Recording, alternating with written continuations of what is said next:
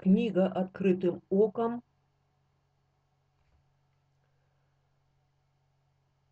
Тема молитва, вопрос 51.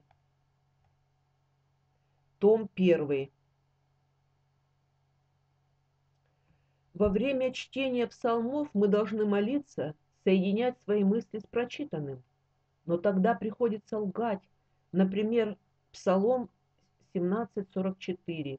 Ты избавил меня от мятежа народа, поставил меня главою наплеменников. Народ, которого я не знал, служит мне. Но ведь это для меня, это меня лично не касается, или я должна просто пробубнить это? Какая я глава? Отвечает Игнатий Тихонович Лапкин.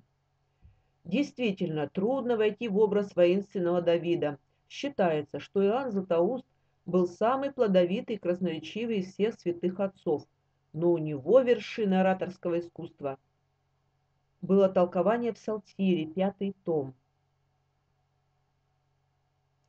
Он все касающееся врагов истолковывает по отношению к темной силе, бесам.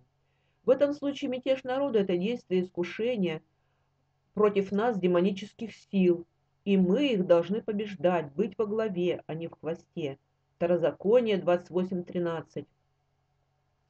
«Сделает тебя Господь Бог твой главою, а не хвостом, и будешь только на высоте, и не будешь внизу, если будешь повиноваться заповедям Господа Бога твоего, которые заповедую тебе сегодня хранить и исполнять». Псалом 17.43. «Я рассеиваю их, как прах пред лицом ветра, как уличную грязь попираю их, Мятеж означает смятение, восстание, революция. Бесовская сила непрерывно воюет против нас, но мы должны побеждать ее и одерживать победу. Лука 10.19. «Се, даю вам власть наступать на змеи скорпионов и на всю силу вражью, и ничто не повредит вам».